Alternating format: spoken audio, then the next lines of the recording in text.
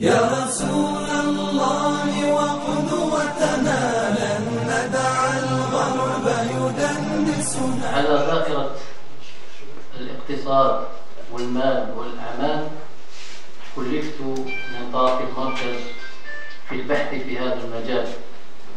وأنا لا أعتقد أنني قادر على فعل ذلك لوحدي بل بالتعاون مع إخواني الباحثين والدارسين في هذه المجالات.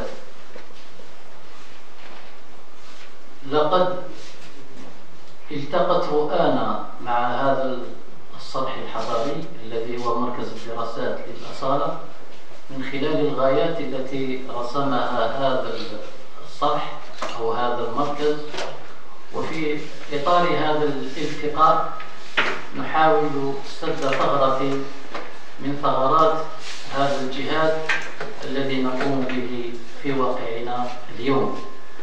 إيمان منا بأن العلم والقلم عمودان أساسيان في بناء الصرح الحضاري للأمة. وعلى هذا الأساس نبتعد في توجهنا في معالجة القضايا الاقتصادية والمالية والإدارية للأمة من البحث في الأطر النظرية لوحدها بل ننطلق من واقع بحسناته وسيئاته نحاول أن نبحث في خزاننا الفكري الحضاري ما يمكن أن يصلح هذا المجتمع لنقترح للمجتمع ثانية بكل شفافية وموضوعية.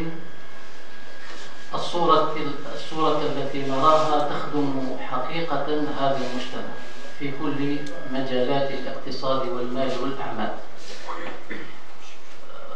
هذا هذه الدائرة كذلك متفتحة في المستقبل القريب إلى جموع الإخوة الراغبين في البحث في هذه المجالات.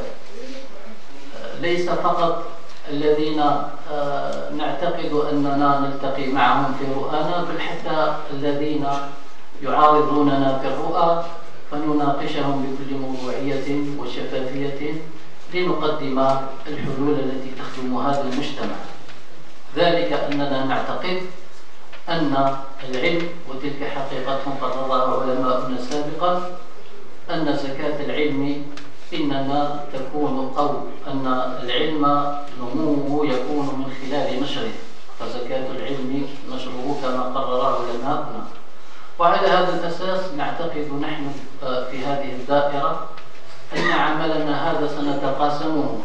نتقاسمه مع الغير بكل مركباته سواء مؤسساتية أو على مستوى الأفراد لنفتح مجال النقاش حتى يكون المجتمع في هذا المجال.